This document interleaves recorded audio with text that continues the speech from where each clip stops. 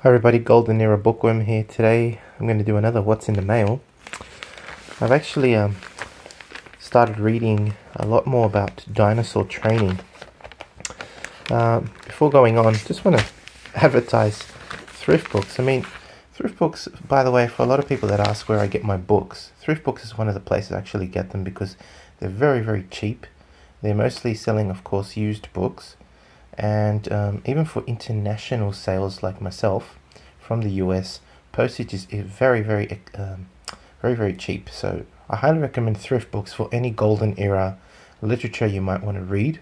Any old used books from the golden era. Great, great book, uh, book site. Anyway, what did I get? Um, as I said, I've been reading a lot about dinosaur training recently, which is basically a form of abbreviated training. Um, I'm a big fan of it. I know some of you are not. But um, again, that's my own personal opinion about it. I love dinosaur training, sticking to the basics. Beyond Brawn. Beyond um, Brawn was one of the first books I ever read. So I decided to go back to the original book that um, I guess inspired Beyond Brawn by Stuart McRobert, and that is Brawn. I only picked up this book for about uh, four or five bucks on the website. I promised Stuart, who I've been in uh, communication with recently, a, a, really nice, generous guy, um, that I would review it for him. So I really can't wait to read this book. I've I've heard so much about it from years ago when I first saw this book, and I was having my own issues trying to bulk up and everything, and I couldn't get any results, as I've said before.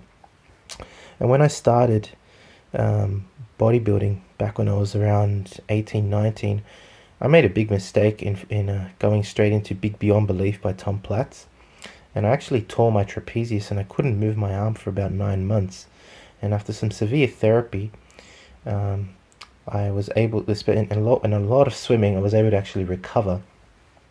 Then it, around in my, um, I guess, very early twenties, from that photo you just recently saw of me in my ribcage development video, um, I was doing a lot of martial arts, but I decided to bulk up for a small part of that time. And I came across uh, Brawn and Stuart McRobert's teachings, and I, and I actually bought Beyond Brawn and many of his uh, other content. And uh, since then, I guess I've made steady gains. Now, as you can see from the contents, from actually, this book was published initially in 1992 I'm assuming this is a 1993 fifth edition or fifth reprinting. Um, the contents, uh, the need of a different approach, really talks about. I mean, I haven't read the book, but I, I know Stuart's teachings. Uh, the different approach is basically talking about how, I guess, uh, misled a lot of people are in regards to correct form of, tra- of training. All of these forms of training are for drug assisted uh, bodybuilders that you see in the magazines. Um, it also talks about so so the need for a different approach obviously talks uh, mentions uh, the high volume of training which is drug dependent and therefore a need for a new approach would be to use abbreviated training. I'm assuming that's what this chapter is going to be about. Genetic variation obviously if you're not a genetic freak you will find it very difficult to gain especially depending on your metabolic status ecto, endo, or mesomorph, etc., etc. Expectations. I already had a quick flick through this um, just earlier, and um, I really like these expectations chapters because, uh, from what I understand, I haven't read the book, but as I said, I quickly went through it. Um, it actually gives you uh, some tables and some calculations that help you um, I guess have a realistic expectation of as to what you can actually uh, what what your growth could be like in in terms of muscular development. So it gives you kind of some calculations uh, of depending on certain girths what your your chest should be. Uh, this person who used the book obviously has underlined it earlier. He must have been five nine, just like me, uh, and it gives you expectations regarding your wrist, regarding different different formulas are used, etc., etc. Um, it's a great it's a great chapter. Um, progression, performance, persistence is the next one. Variations on a theme. Uh, no single universal approach. That's very true. There is no universal approach to bodybuilding or weightlifting. Um, intensity and variation, etc. There, there are lots of uh, uh, great chapters here. I think that the routines and the squat is what most people would, would want to read about. Again, the squat, the growth exercise. The squat is, is king, so is deadlift, the bench. These are just absolute basics, and that's what I like about this book. At, at the end, it goes through also specialization, and it says it in the summary, and it's a great belief I have.